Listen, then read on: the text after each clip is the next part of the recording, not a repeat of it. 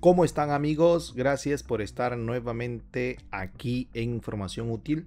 En esta oportunidad quiero comentarte sobre este comunicado que ha sido publicado hace unos minutos por la Asociación de AFPs debido a que muchas personas han presentado dificultades para registrar su solicitud de retiro de hasta 17.600 soles. Como sabemos, el día de hoy, 31 de mayo, podían registrarse todas aquellas personas cuyo DNI termina en 1. El día de hoy también se han presentado muchos problemas, muchos inconvenientes para solicitar el retiro de fondo de la AFP y por ese motivo la Asociación de AFPs ha emitido un comunicado. Este es el comunicado. Estimados afiliados, para permitir el registro de la solicitud de retiro a los afiliados que hoy reportaron dificultades al momento de realizarla, hemos ampliado por hoy solo por hoy, de forma extraordinaria, el horario de atención hasta las 8 de la noche.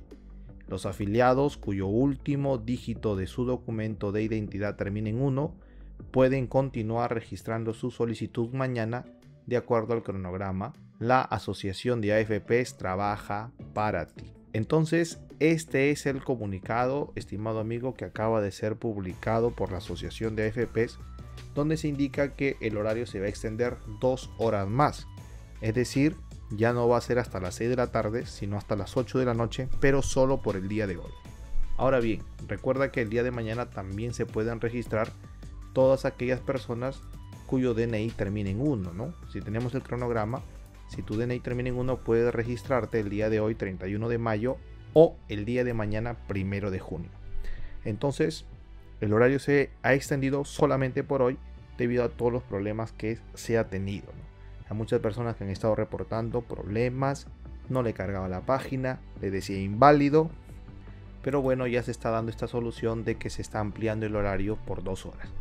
Estimado amigo, este era un video muy corto solamente para comentarte sobre esta publicación que acaba de hacer la Asociación de AFPs. Espero que este comunicado haya sido útil para ti déjanos un like, comparte este video y nos vemos en una próxima publicación. Dios te bendiga.